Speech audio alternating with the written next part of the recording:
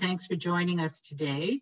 Um, I know we've got participants listening in and, and, and watching from across Canada, including many current uh, Habitat for Humanity donors, board members, staff from various affiliates across the country, many volunteers, of course. And uh, so I welcome you all from coast to coast. Thanks for taking the time to join us uh, this afternoon or this morning, depending on where you're joining from.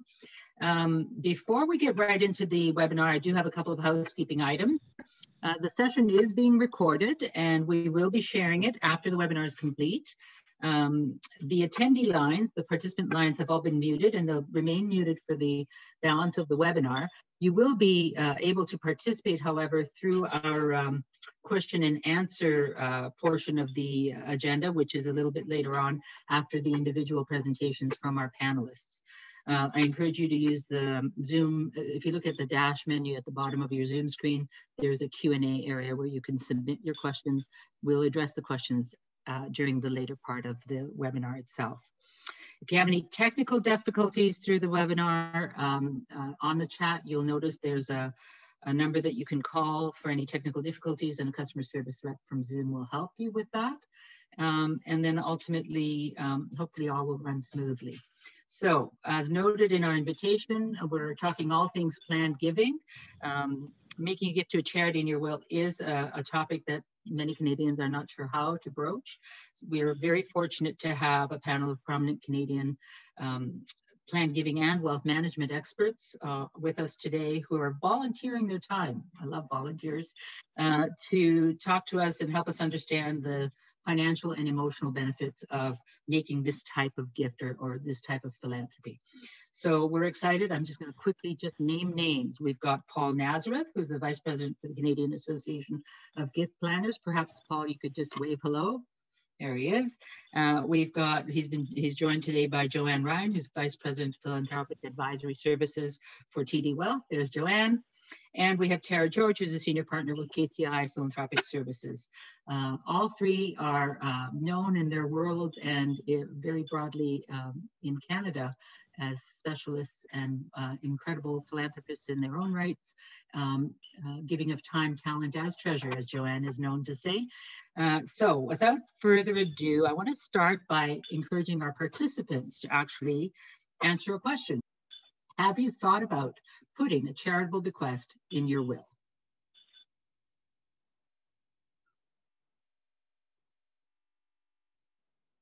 Looks like two thirds of the participants uh, that responded to the poll uh, have thought about this before. So that's interesting. Um, I would, uh, I was under the impression, perhaps we thought about it like me, but we haven't really done anything more about it. So uh, maybe Paul can give us some insights as to how that links to stats that you have as it relates to people that actually think about it versus people that actually uh, do something more about it and perhaps even make the bequests in their wills. Uh, so over to Paul, who will give us some information, some plan giving basics as we start the webinar. Wonderful. So, uh, you know what, uh, those results were actually just a little higher in uh, the study that we just did. We just did some uh, new data across the country, worked with Environics and talked to Canadians of all ages and stages in every province. And it was probably a little lower uh, in the uh, low 60s uh, of how many people who had considered a gift in their will this way. So excited to be here with you today. As my colleague said, uh, I'm with an organization called the Canadian Association of Gift, which works to bridge uh, the world of charity of financial and estate planning. And we dive into the data and practice of a lot of individuals across the country as they think about supporting their favorite charities this way. And so today I hope to give you some thoughts, some information, and some provocations as you consider your own legacy. You know, we received a great gift, and I know many across the country, our colleagues from local habitat teams, may have seen this report that put together all of the data on the charitable sector from the past 30 years. Great gift to us from last year, put together by Imagine Canada and the Rideau Hall Foundation. And this report helped out some narratives for us to understand a bit more about not just charity in Canada and giving in Canada, but how we as Canadians look to help each other. Now, one of the more interesting things that we got out of this was, as I said, that, that extended narrative. And in the end, what we're trying to do is support every individual. We need to decouple the world of fundraising from your own considerations of how you want to help. That's what we're really here to do today is help you can help consider, give you more tools around how you want to help. And I'm going to focus on some questions, some data, and some insights on in my 20 years in the sector, working for charities large and small, a wealth management firm. I worked with the charity Canada Helps. And so got to travel the country quite a bit and help individuals as they think about this. Now, starting right now, how do you give? And that's the challenge is most Canadians give because they are asked. We know that fundraising is something that happens all the time. And in fact, one of the most things is us watching one, too much American television, and too many of us think that philanthropy is done by philanthropists. Whereas here in Canada, it is everyday people that are really making a difference. This is the front cover of the annual Forbes uh, Philanthropist edition. I never know how Bon Jovi makes it on there, but this is the problem. It is that celebrity philanthropy that has captured our mental attention. I want to tell you two quick stories about how individuals can think about and how you can frame this different question. Not about how I give because of fundraising, why I give because I'm an individual. One is a famous, maybe you've heard it, but it is a famous estate planning story of an industrialist at the turn of the century, the creator of dynamite. And this individual had given away millions of dollars. And in fact, their will, their estate plan, was giving away most of his money to charity. And he received a very odd gift. Turn of the century. So there wasn't any Twitter. So a weird thing happened, and the press thought that he had died, when in fact it was his brother in the next country over. And he went one morning to his own obituary on the front cover of the national newspaper. And he thought, thought, okay, most of my money is going to charity. I've been a great philanthropist. I've created schools. I've advanced healthcare. I've given to the arts. Let's see what the world thinks of me in this obituary. And the headline of the newspaper was, Hooray, the merchant of is dead. Let us celebrate putting this horrible man into the ground. Whoa!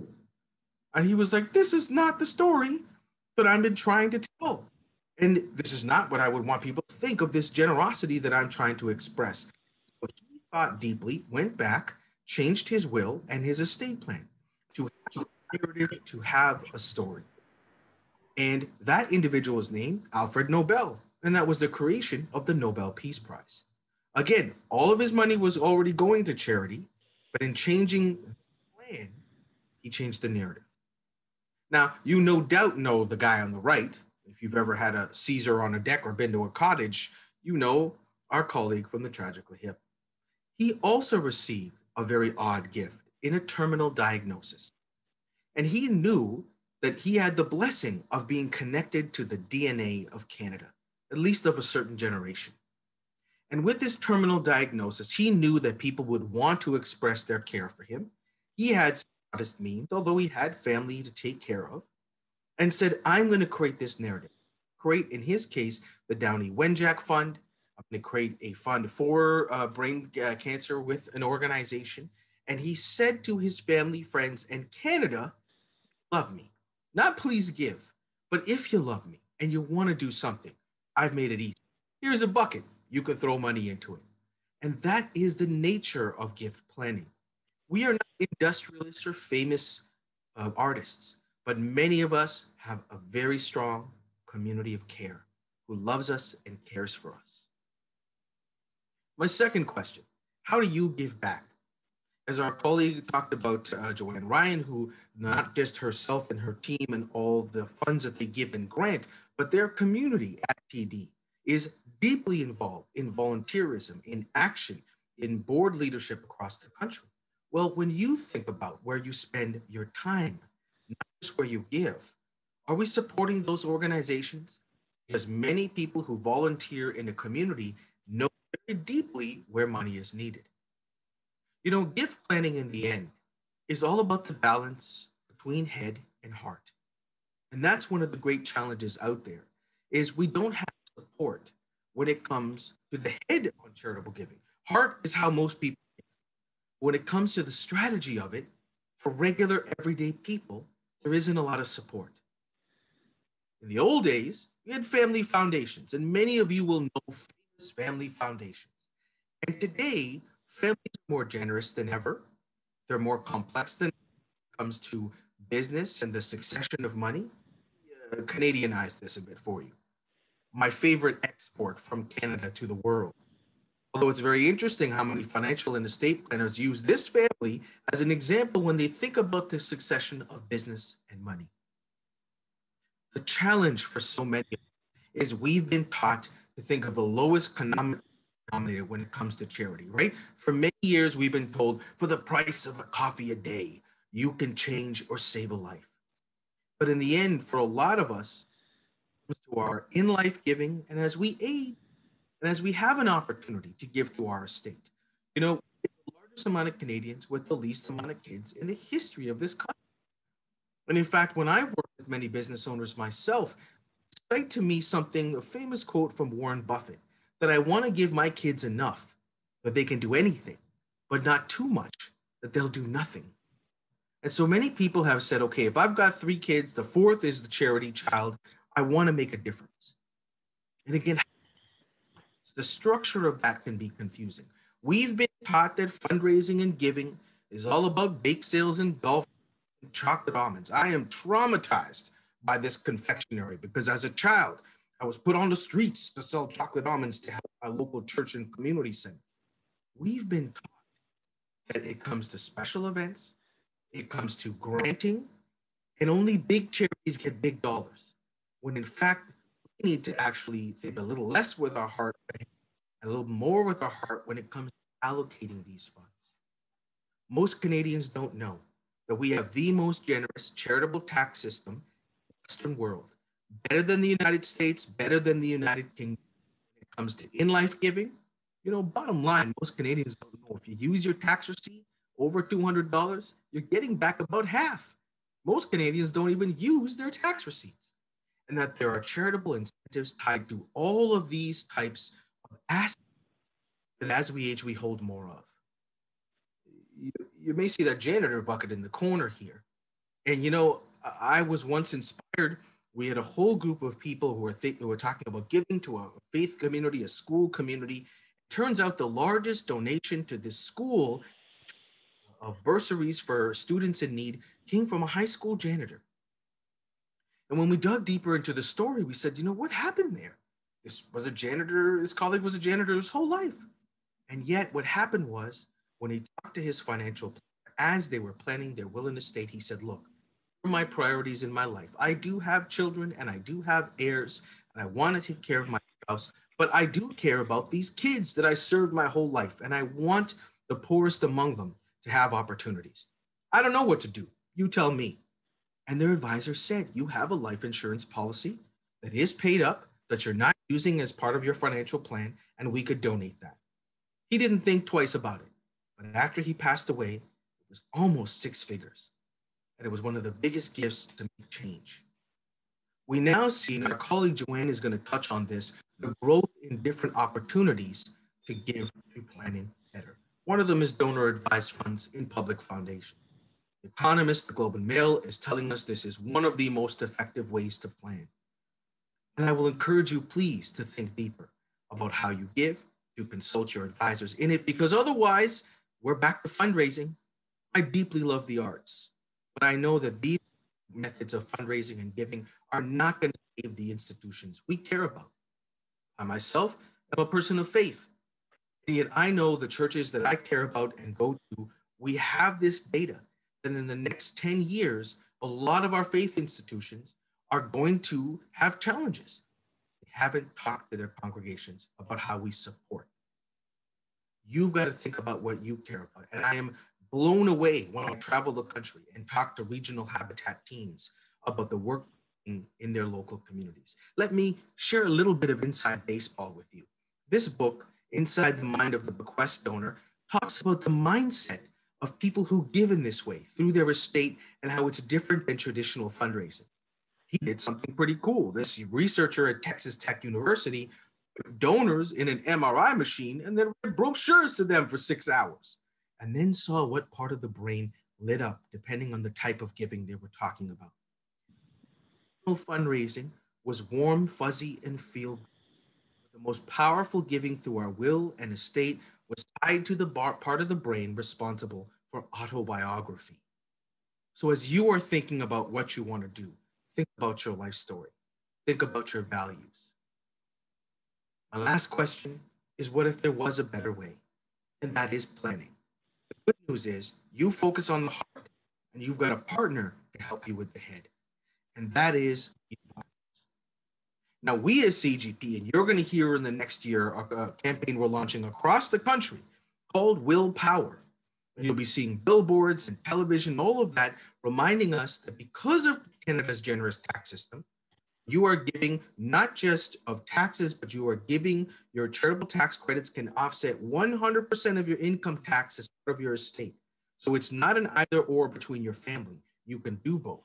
You're going to see us advancing this narrative in your community. You know, when we asked advisors, are you talking to your clients deeply about planning their giving? They said yes. And then we did a Canadian Ipsos Reid study and talked to Canadians in every province, and they said, no, they're not. So we've got some more resources for you. And we're happy to share how you can come together with your own advisor to have a conversation, the head motivated by the heart to make a difference. Connect your purpose with the plan, and your philanthropy can be deeper. We know you care. You know that your life story has way more than just the giving. And again, the fundraising that we are all afflicted by. Think deeper about your story and your values. And there's a one expression of your own legacy. In the end, it's not where do you want to give, it's how do you want to be remembered. I hope that's been helpful as we start our discussion today. Thanks to the Habitat team for having me and look forward to the Q&A and hope we hear from you. Thank you so much, Paul.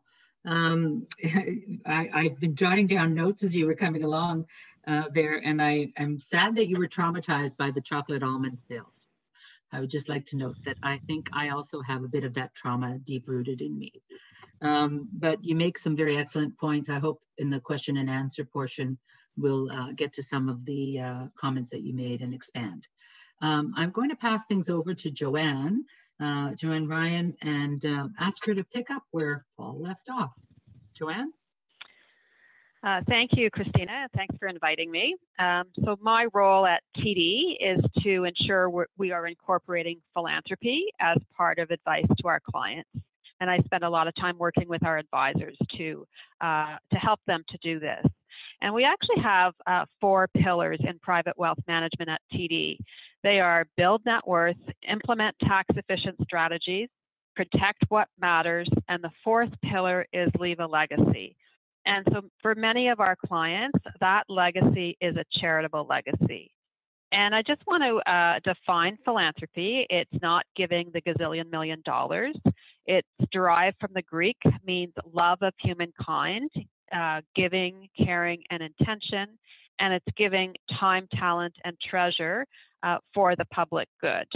And um, and so, really, the, the, way we define philanthropy as opposed to charitable giving is giving in a way that reflects your values, as opposed to we've all been there where someone asks you for money, you write a check, and you don't really give it a lot of thought. Um, and so, really, if you're helping your neighbor, uh, if you're giving back to the community, you are a philanthropist. There are lots of different motivations for giving. And we're going to talk a little bit, as Paul alluded, uh, we have the most uh, generous tax incentives when it comes to charitable giving in Canada. But that's not the number one motivator for giving. I mean, people give because they feel compassion towards people in need, to help a cause they personally believe in, to give back to the community. Um, and tax is actually low, uh, really low. However, uh, we do spend time uh, working with our clients to ensure that they are giving in a very tax efficient manner because if they are, they can actually maximize their impact. So again, strategic philanthropy is a process of becoming intentional about your giving of money and time by investing in issues that articulate your values. Uh, lots of different trends in giving in Canada, which I think makes this uh, a really exciting time for planned giving. Uh, we talk about the intergenerational wealth transfer uh, in the financial institutions, and a lot of the people inheriting this money um, are successful themselves and and and don't need it. Uh, so we're seeing an increased interest in leaving that bequest in the will to charity. Uh, we've seen women growing in wealth, and TD has done a lot of research uh, in this particular area. Women's life expectancy is greater than men, um, so they often inherit twice uh, from uh, parents and then from, from a partner um, or a spouse. Um, and uh, as you know, people are not leaving it all to their kids, and uh, and then there are a whole subset of people that don't have children, and so really philanthropy becomes a second child or becomes a child for them. So, uh, not to dwell on the tax, uh, but the way our tax system works in Canada is if you have any income or wealth, your tax dollars are going to go to Ottawa. Uh, that's how it works. So you can sit back and say, I like the way they're spending my money. I'm good with it. Um, or you can say, I want to actually take some of that social capital back in the form of tax credits that are available for charitable giving and allocate it to things that I care about. And, uh, and that's really what it, it's about. So, um, as Paul said, you get half of it back. If you donate appreciated securities, you eliminate the capital gains tax. And normally, um, if you were to sell those securities, 50% of the gain would be taxed as income. So you're always better off to donate securities as opposed to cash. Even if you love the stock and think there's a lot more upside potential, uh, you um, you can donate it and you uh, get the receipt. You eliminate the capital gains tax, and you can buy it back immediately, so that you've just uh, stepped up um, your cost to the new uh, market value. And there are some limits in terms of what people what you can claim. You can claim donations up to 75% of your net income. If you exceed that, you can carry it forward for five years. Um, and in the year of death, that goes up uh, to 100% of your net income. And um, and back, uh, if you exceed that, you can go back and claim up to 100% of your income in the year preceding death. So there are lots of ways to give to charity. Uh, you can write a check. They'll gladly take take your check. As I said, you can donate securities. We see uh, when we're looking at deferred gifts, um, we see uh, actually a lot of Canadians have built up um, sizable registered plans. Uh, they build up these large RSPs, and of course, they don't use the funds when they're in an RSP. In the year they turn 71, they have to convert it to a RRIF. Um, and then there, there's a forced withdrawal every year, which is taxable. So we're seeing a lot of our clients uh, direct that to charity, and also we're seeing them, um, we're, we're basically seeing them well directed to charity as well as naming um, a charity as a as a beneficiary of that RRIF. Uh, because eventually, upon the death of the second spouse, that is taxable, and um, and so that helps offset the tax. Uh, and then uh, certainly straight bequests are a great way uh, to update your will and to consider leaving a bequest uh, to charity in your will. Um, it helps. Um, it certainly helps the charity uh, if they know that that bequest is, is in the plans. Um, it allows you to plan uh, with the charity in terms of how those funds are going to be used, and and charities will give you the bequest wording so that you can take it to your lawyer. We're seeing an increased interest in using life insurance as a, um, life insurance as a, a planned gift. As Paul alluded to, people have life insurance policies that they don't need anymore. Maybe they bought them before they were financially successful, or um, they had dependents and now the dependents are older and they're successful. So giving that life insurance policy and getting a valuation and a receipt for the market value can be tax efficient today and leave that legacy down the road um, when the when the charity actually receives it. Donor advised funds are one of the fastest growing vehicles in uh, in Canada. Uh, they're simple, easy alternatives to establishing your own private foundation. So you don't need to go to a lawyer and set up a non-share capital corporation. They're typically public foundations. We have one called Private Giving Foundation. It's independent from the bank, and uh, but but the bank does all the administration associated with it. And for as little as $10,000, you can open your mini sub foundation account. You can name it any way you want. You can. We actually have a lot that are named in memory of someone in order to honor them and to continue to support charities that were actually uh, important to them. Uh, we're seeing in a pandemic that donor advised funds are really have really been helpful because um, people people committed funds to charity through their donor advised funds, usually in good times. Uh, never could have imagined a crisis like a pandemic, and then and then when the pandemic hit, they were in the perfect position to redirect those funds uh, to all kinds of organizations, uh, whether it's food banks or organizations helping the homeless who were in desperate need of funds um, as a result of uh, of COVID-19. And, and my final point um, I, I would make is it's important to develop a philanthropic plan. And um, because there's 86,000 registered charities out there and they all are asking for money, you can't support them all. So if you go through a process to develop a plan, um, we ask questions, you know, what values are important to you and to your family, and we actually have a list of values we can you know, help you identify your top three or your top one. Uh, match those values to causes uh, that are that are important to you. Uh, decide uh, where you want to focus. Uh, some people like to support charities that are very local. Um, some more provincial, national, or international. So define your geography um, and then research uh, research your options. And there's some great websites out there that will give you a good snapshot of what the organization does, what their financials look like, so that you can actually uh, you can actually do your due diligence in um, in deciding what organizations you want to support. And um, you know, certainly designate your donation, talk to the gift planning officer at the charity, um, and um, talk about the impact that you want to make. And uh, it, it, it also allows the charities to thank you uh, for the gift that they will receive down the road.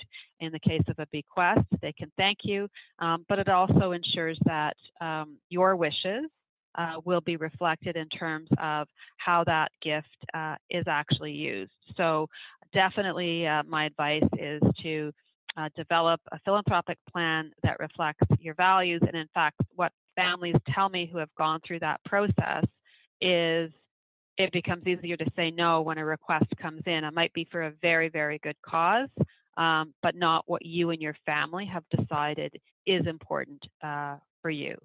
Uh, so those are my, my comments and uh, I look forward to the Q&A. Thanks so very much, Joanne. Um, I know that I don't want my tax dollars to go to Ottawa, so I'm going to look at my own social capital and make sure I make some of my own decisions in uh, philanthropic planning. I look forward to chatting with you during the Q&A. Uh, we're going to move over to Tara George now and uh, looking to Tara for her perspective and her own personal lens on everything we've been chatting about regarding planned gifts. Tara. Thank you, Christina, for the introduction, and thank you to Joanne and Paul for their earlier comments. Um, I guess I'm just everyday people, and I'm not a millionaire, but I am a philanthropist, as uh, as Joanne has defined it. Um, for me personally, leaving a legacy means seeing my values and my commitment to a better and more equal society being lived out beyond my lifetime. So, as I examine what matters most to me, um, this is really based on my values and it's reflected in my giving and volunteering. So I thought about this before the presentation and I realized I give uh, philanthropically to all of the organizations where I volunteer. And I'm going to link that back in in a few minutes. I first became involved with Habitat for Humanity when I lived in New Brunswick about, I guess, about 20 years ago, not quite. Um, I really care about social justice and equality, and I saw Habitat as an organization that cares about these issues too. Um, I was working at um, an independent school uh, in, in development as a fundraiser. And I, as a volunteer, I led two March break collegiate chapter trips to the US with students who attended the school that I worked at. And then I became aware of a new chapter starting up in in Saint John. So that was exciting to see that Habitat chapter get off the ground. Um, around that time, I was I was going on a big vacation, and there had been uh, a bombing in London during the G8 conference protests uh, in Edinburgh. And since I was going to Scotland, my wise mother suggested that I create a will. And remember, um, Paul talked about giving patterns being passed down. That was in the Imagine Canada and Rideau Hall Foundation report. And so my mother and father passed that the uh, importance of giving back to community. They, they passed that value down to me. And so I listened to my mother and discussed with my husband at the time, and we didn't have children. So we decided to leave all of our estate to charities if we both passed away. And um, since Habitat was a charity that we had both been involved with, um, Habitat made the list of the six to eight charities that we included in that initial will. And I say initial will because it has been changed twice since. Um, shortly thereafter, we moved back to Ontario, and it was natural to get involved with Habitat Toronto, as it was called at the time. And at that time, I also became a monthly donor because for me, monthly giving is the easiest way to give. Uh, it allows me to give a bit more than I might normally um, give if I just give one check, so to speak. Um, in any case, uh, in Toronto, I was less interested in build volunteering. I was finding myself interested in um, in the families and in the process of family selection. So I was um, I had the opportunity. I was very grateful to have the opportunity to be involved in the family selection committee. And it was an incredibly meaningful volunteer opportunity for me. And to date, I would still say it's the most meaningful volunteer opportunity I've ever had um, myself. It was really interesting and both um, heartbreaking and inspiring uh, to learn so much about the families who applied to the Habitat program and have a chance to meet with them and, um, and to see their exciting journeys forward. Um, in the past few years, to be honest, I've become a little less connected with, with Habitat as volunteers sometimes do. We have busy lives, all of us. Um, but Christina and her team do a really terrific job of keeping in touch with me as a donor and making me feel valued and keeping me informed. Um, and I was thrilled to agree to help when she called me about this webinar. My day job is as a partner of KCI. We're a leading philanthropic consulting firm in Canada. And I lead our executive search and talent practice. So I think Christina knew that I could bring some um, philanthropic expertise to today's conversation, as well as my uh, perspective as a donor and volunteer. I, I like what Christina said, you know, um, I'll be able to talk about the financial, but also the emotional benefits of uh, making a planned gift. So, so why is gift planning and legacy giving important to Canadian charities? I, I know that some of you um, on the uh, webinar today are, are across the country with different Habitat chapters.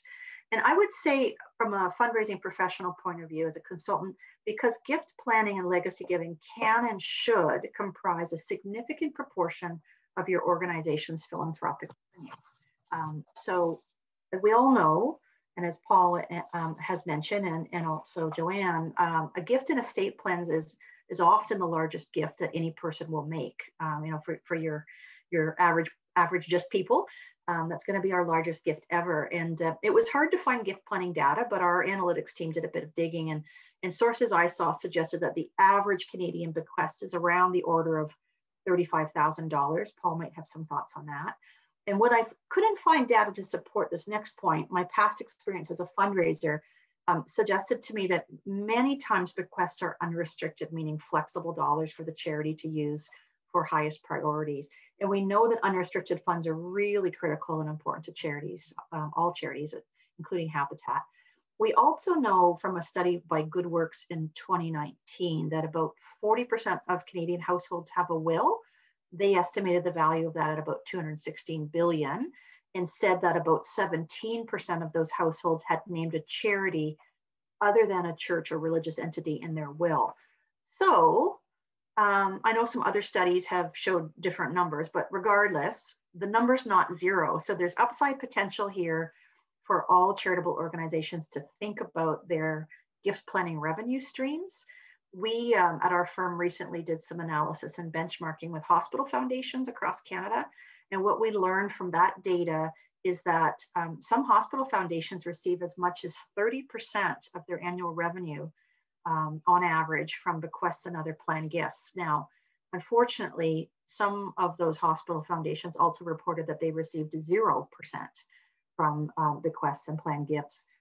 Well, which could mean, thankfully, to be frank, nobody died, which is good news, but more likely means that nobody left that particular hospital foundation in their estate plans, maybe because they were never asked. So I do think that each charitable organization should be aware of the average bequest value for your specific organization. In other words, when you you know do a five-year average, what's the what's the average bequest year over year that you're receiving? um, in total, and what what is the uh, average proportion of plan giving revenue in comparison to your other revenue streams like annual giving or um, ReStore uh, revenue and so forth. And then you can start as a charity to approximate your potential cash flow and even start to consider how to grow that revenue by asking for bequests um, through and through great donor stewardship and engagement. So I'm not sure if, how people reacted when I talked about asking for bequests, but what I mean by that is charities can start by sharing information about legacy giving with donors. You can plant the seed and you can water it. Some people like me have already chosen to leave Habitat in their estate plans and you won't know who we are unless you invite us to self-identify. Not everybody will do that. And, you know, that's fine. Um, some people will tell you, and as Jo-Anne said, it allows you to thank them while they're still with us. It allows you to also further engage them in the work that Habitat does because clearly they care. They care about Habitat already. So sometimes that engagement will lead to all sorts of increased benefits for the donor and for the organization through their giving and volunteering, which is good for you and it makes the donor feel great. Um, other people may consider making a bequest after receiving information or being um, even asked to consider habitat in their estate plans. The people who are most likely to consider would be those donors who are already giving to Habitat. So those might be your, your loyal annual donors, your monthly donors. And I would say don't forget volunteers and staff members. Um, remember at the beginning, I said that I give to every organization I volunteer with. So um, I think I would actually be upset if the charities I volunteer for um, didn't think it was important to ask me if I'd like to contribute charitably in some manner. Like like they shouldn't assume what my intentions are. They should leave that up to me by presenting the information and letting me make my own decisions. So i'm a big proponent of of asking volunteers and staff. They can absolutely always say no but if they don't get asked they might actually feel a bit ignored um, and then also of course you all know once you once you learn about someone's bequest intentions i think it's critical to really keep people informed to give people opportunities to engage in a manner that um, really um, keeps us engaged in a manner that we each choose. So, and I think if you do that well, if we, if all charities do that well, they'll they'll likely keep those donors giving to Habitat throughout their lives, um, any big life changes. So. Um, so those are those are my comments, and uh, I can tell you through my own experience, Habitat does a great job with stewardship, and uh, I'm proud to be a donor and a volunteer and to uh, include Habitat as a beneficiary in my own estate plans. This has been a paid announcement by Christina Politis at Habitat for Humanity. No, I'm just kidding. Thank you so much, Tara. Um, I know uh, we are very fortunate to have you um, as a volunteer and as a supporter for many, many years, and I appreciate you joining us today. I'm going to ask our other panelists to come back on screen, please. And, uh, and we're going to just move into um, a little bit of uh, the question and answer portion of the webinar. Um, ultimately, uh, we've been given some great information and actually, I'm sorry, I'm going to uh, backtrack. What I am going to ask first is Deanna to put the second poll question up. Mm just for a second, I apologize. Uh, Deanna, if you could. And I'm gonna ask our participants to answer this question uh, before we move into the question and answers. Having heard now from our panelists, are you more likely to consider adding a charitable bequest in your will? So if we've done our job, these numbers should go up.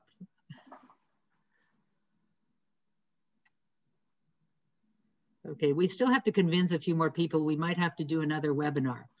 Um, uh, I think we're going to just uh, give it a couple more seconds, but we're at 93%. I think that's pretty good. 93% say, you know, they're more likely to think about it. And that is what we're trying to do today is trying to get everyone feeling more comfortable with the concept of looking into uh, what a bequest uh, in our will, a charitable bequest might do, or why we might want to um, consider it. So um, that is uh, what we've got, 93%. Okay, uh, let's go into some question and answers. Um, there's been some great comments all the way across, and uh, I have my thoughts on a few things, but I want to actually start um, with Paul again. Um, dispelling the myth a little bit more. Uh, one of the comments here is, you know, yeah, but I have to be wealthy to do this. And I know Jo-Anne and, and Tara both touched on this too. Even Tara said, I'm not a millionaire remind people, like, let's dispel this uh, myth. I know you talked a little bit. Could you add to that? Yeah, and and you know what, jo- Jo-Anne touched on it right away, which is we have the data to understand why Canadians give. Wonderful report put on by the Muttart Foundation in collaboration with the Globe and Mail on why Canadians give, and we know they give because number one, they care, and number two, they're connected to causes, and they want to solve problems in their community. It this is about the heart. And so, you know, again, philanthropy is not done by philanthropists. That's an American uh, kind of mythology. And here in Canada, it's regular everyday people who are just trying to make a difference in the causes they care about, in the problems they want to solve in their local community and here in Canada. And if we just step forward to say, here's what I can do, here's how I can help. Again, to a couple people cited monthly giving. You know, you got to make it affordable. And again, this is why we encourage more people to say, start small and talk to your advisor to say you it's your job to make this easy for me. And it's such a challenge that so many people don't use the incentives that the government give us and they don't think more deeply and they respond to when they're asked. So it's time for us to take control to stop giving it all those cash registers and the family. You know I, I talked to business owners and one guy said to me i have never given with both hands freely. One hand has always been twisted behind my back and golf and a brother-in-law has usually been involved. Mm. And, and that's the challenge is so many times, you know, we, we, we respond as opposed to spending some time thinking more deeply and responding to what we care about. And then slowly as time goes on, often as we age and life gets more complex in a good way, then we bring some strategy to the table. But start with the heart and then balance with the head.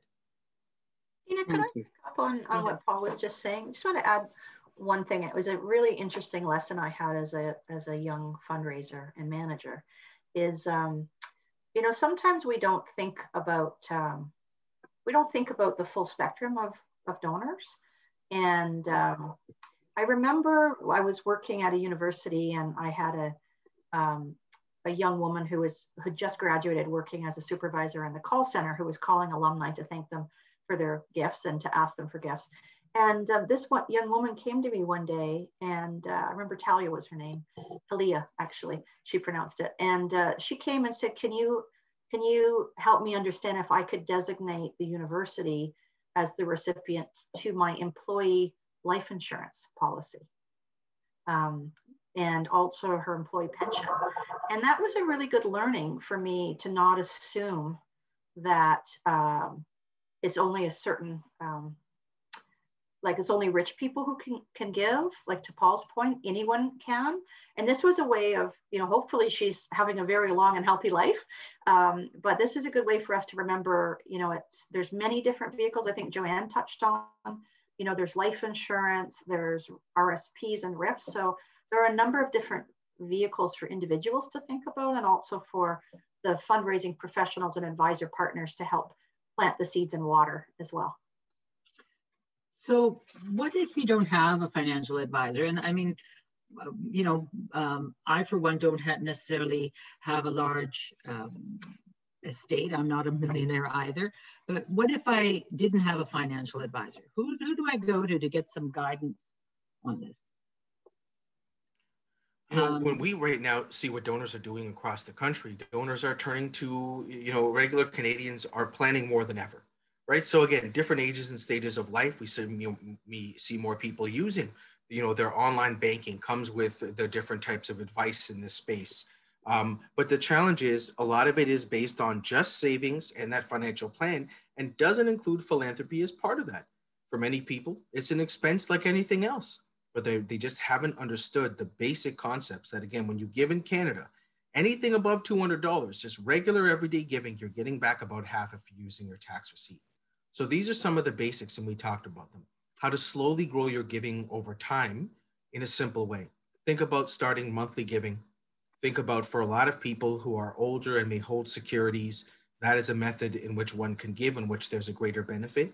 But um, you know, again, for our colleagues from Habitat on the phone, we also got to not assume that the people that we serve and support and work with don't have advisors in this space, right? We, we do a lot of assuming, just like again that that big campaign from a school board, and it was the high school janitor who made the largest gift because they simply mentioned it as they were starting to do in their case simply their will plan with an estate lawyer.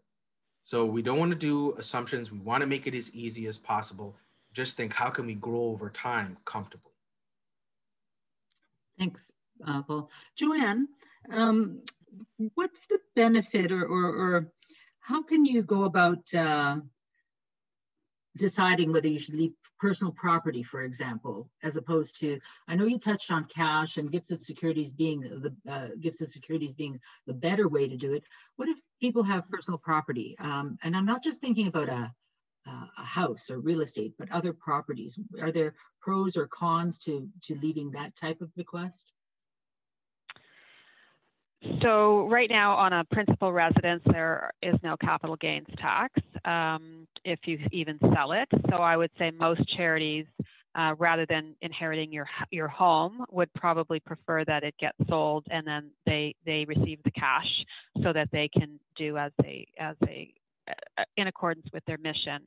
Um, really, I, I, think it's a, a, question, it's not necessarily just a tax question. Um, there's been lots of lobbying about private company shares and giving um, investment property uh, to eliminate the capital gains for, for that. Currently, there, the, you do you do incur capital gains if you donate those those properties. So there isn't a tax incentive associated with it. But I think you really need you really need to talk to the charity because um, you know I talk to people all the time that they perhaps own land and it's a farm and they think it's the perfect thing to give to this organization. Um, but the organization really can't use that land. Or I've spoken to people who say, I want to give my home because it would make a great women's shelter. But if you look at, look at the strategic plan for that charity, that wouldn't fit with what their direction is. So, I mean, obviously, if you're giving to an arts organization, uh, you you know it, it, might make sense to give you might be giving art and there are some preferred tax tax benefits to doing that. Same with environmental charities. So you need to you need to talk to someone um, about the overall tax implication and the financial plan but you also need to talk to the charity that you're considering making that gift to. The last thing a charity needs is a surprise when your will lands on their desk and they find they're the you know the new owner of whatever it, it is that you've decided would be the perfect gift for them. So you need to have those conversations. That's very helpful. Thank you so much. Um, anything to add, Tara? Go ahead. Yeah, I would just like to add, just to build on what Jo-Anne was saying, is um, um, particularly for Habitat, because you're a bit unique as a charity where I totally agree, most organizations would probably want you to sell the real estate or property. Habitat might be slightly different in some geographies where you might be actually, um, you might have more advantage to actually acquire the property, uh, even if you were to tear down and rebuild something on that property because of the, uh, just of all the cost of all the, the, um, well, the land, I'm thinking I live in Toronto yeah. and it's so hard to just to get land to build on in Toronto, I know for Habitat. So mm-hmm. I think this speaks to the importance of, of charities having very clear gift acceptance policies and I would even include that the charities should have those posted in a public place, public place on their website so that it's really easy for donors and donors advisors, um, particularly their lawyers, to be able to, to see that information. And I think this also speaks to, I, I just have to reemphasize what Jo-Anne said. Uh, I know it can be uncomfortable and a bit weird to call a charity to say, oh, by the way, I've put you in my estate plans and can we talk about this? I remember the first time I did that. Um, but it becomes really important because sometimes through our own enthusiasm, we might accidentally put something in our estate plans that ties the charity's hands and then they can't accept the gifts or they can't use the gift the way you wanted to. So like if their gift acceptance policy said that they can't accept real estate and you left the house, suddenly mm-hmm. you're costing the charity because they have to get into litigation. You know, you don't want to cost the charity that you care about a lot of money, or you might be giving a, a bequest to start a, a bursary, a university, and you might have some, you know, I've seen, unfortunately, I've been in universities where people left money in their state plans. I remember at Guelph, someone left um, like millions of dollars to home economics, and the university doesn't have a home economics program. Yeah, that's why. So Tara, that, Tara, thank you so much. But it does go back to what you just landed on, which was uh, talk to the charity, right? Uh, we and really do need to do that part of it as a donor. I want to note uh, we've got some colleagues uh, have got some great comments in the chat. Yes. Uh, you know, thank you to our colleague Shauna asking about donating a home and what's the right, right advisor to talk to. The key thing is to talk to an advisor who is schooled in this kind of planning, either in life, in financial planning, or as part of estate planning. You know, the challenge is, is people often want to save money. And you can absolutely still order from your Indigo Online, an $80 will kit but you know what the estate lawyers say is you're going to pay us up front or you're going to pay a thousand times in litigation, mm-hmm. right? You don't want to not just tie the hands of the charity, you don't want to hurt your family. You don't want to hurt the people who are benefiting from your estate.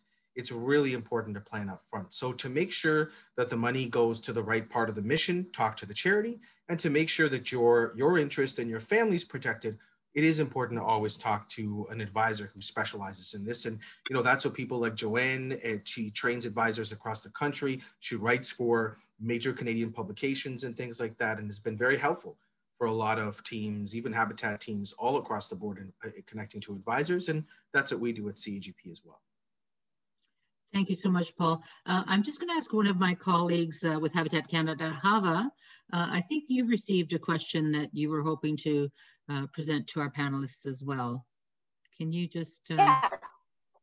Yes, so I received a question um, more specific to what Jo-Anne mentioned about the government lobbying. So we have someone on the webinar who is wondering if CAGP specifically is lobbying the government to expand the capital gains exemption from securities and other assets, such as a second residence. Uh, and I'm happy to jump in on that as our representative CAGP. That is indeed exactly what we're doing.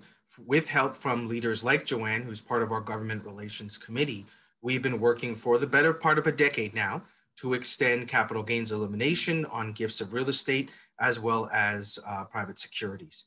So, you know, the government and the deficit being where it is right now, we don't expect for that to happen anytime soon.